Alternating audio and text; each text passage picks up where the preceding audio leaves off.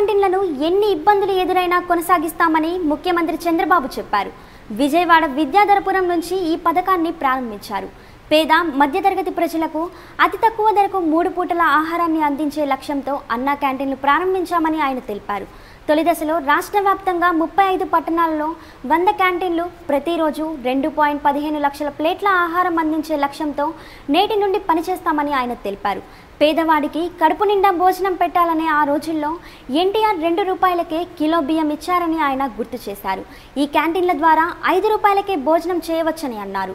ఈ సందర్భంగా ముఖ్యమంత్రి ముఖ్యమంత్రి పేదలతో కలిసి భోజనం చేశారు మూడు పూటలా కలిపి డెబ్బై మూడు రూపాయలు ఖర్చు అయ్యే ఆహారం ఈ క్యాంటీన్ల ద్వారా పదిహేను రూపాయలకే అందుకోవచ్చు. ఇందుకు సంబంధించి క్యాటరింగ్ బాధ్యతలను అక్షయపాత్ర సంస్థ నిర్వహిస్తుంది. ప్రతి క్యాంటీన్లో రోజుకు రెండు వందల యాభై నుంచి మూడు వందల మందికి ఆహారం అందనుందని తెలిపారు.